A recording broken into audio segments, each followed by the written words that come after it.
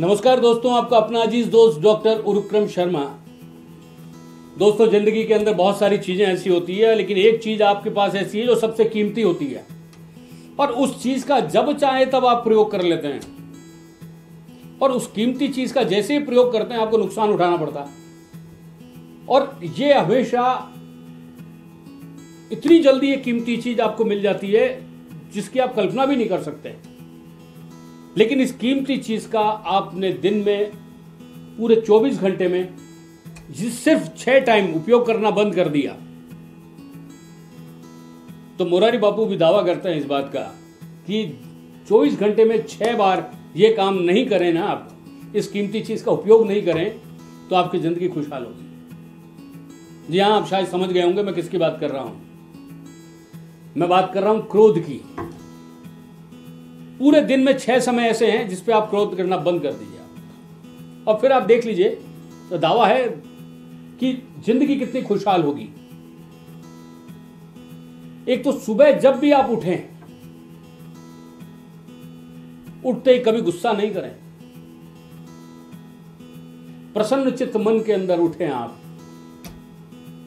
वो आपको जो सुबह प्रभात है, वो इतनी खूबसूरत लगेगी और आप के हिलते हुए चेहरे को देखकर पूरे घर का वातावरण ये मुस्कुराहट भरा हो जाएगा। क्योंकि जितने परिवार के सदस्य हैं, उनकी ज़िंदगी खुशहाली आपसे जुड़ी हुई है। तो तय करिए कि उठते ही कभी भी हम लोग गुस्सा नहीं करेंगे। दूसरा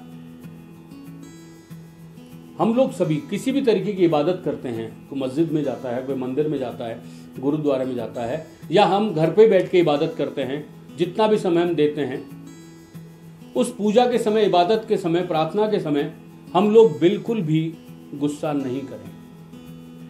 हम हमारा ध्यान उस प्रार्थना में जोड़ें, गुस्सा करके हम हमारा ध्यान वहाँ से हटा लेते हैं।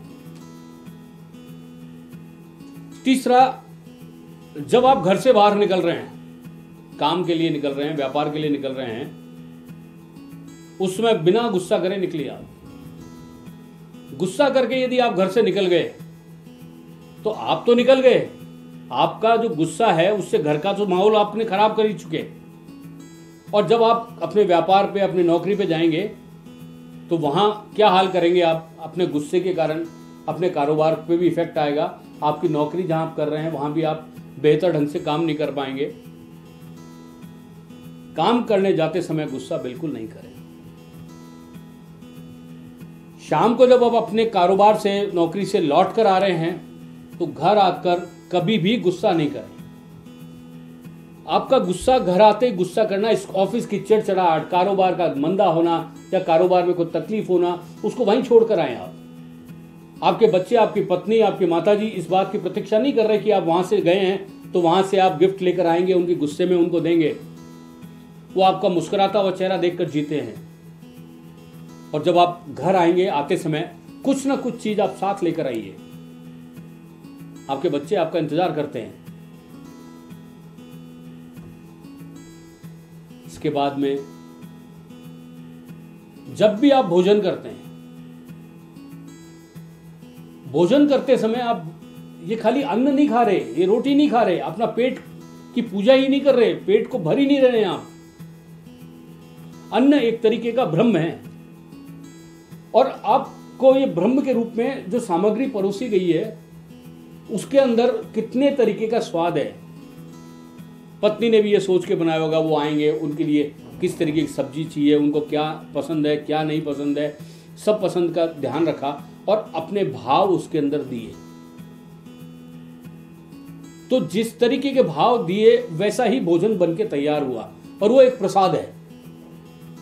और हम लोग क्या करते हैं कि जरा सी सब्ज़ी में नमक कम हुआ, मिर्च मसाले कम हुए, पसंद का कुछ जरा सा हुआ, हम थाली को झड़क देते हैं।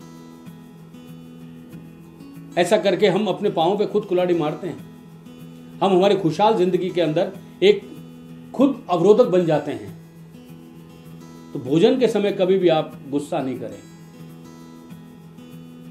और सबसे आखिर में जब आप पूरे दिन कर का सारा काम कर रहे हैं, आप देखिए, आपने उठते समय आपने गुस्सा नहीं किया, प्रार्थना के समय आपने गुस्सा नहीं किया, कार्य पर जाते हुए आपने गुस्सा नहीं किया, कार्य से आते हुए आपने गुस्सा नहीं किया, भोजन करते हुए आपने गुस्सा नहीं किया तो आपका दिन पूरा का पूरा कितना खुशहाल दिख रहा है आपको। और रात को सोते समय आप बिल्कुल गुस्सा करके ना सोएँ।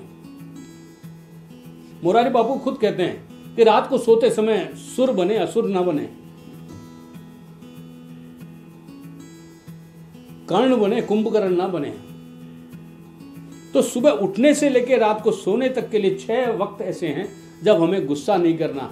और ये पक्का मानिए आप इस बात के लिए कि यदि आपने इन छह समय पर गुस्सा करना बंद कर दिया तो शायद आपसे और आपके परिवार से खुशहाल कोई दूसरा परिवार नहीं हो सकता। तय आपको करना है, आज से ही करना है कि हम इन छह समय पर कभी गुस्सा नहीं करेंगे। आपका दिन शुभ हो, मंगलमय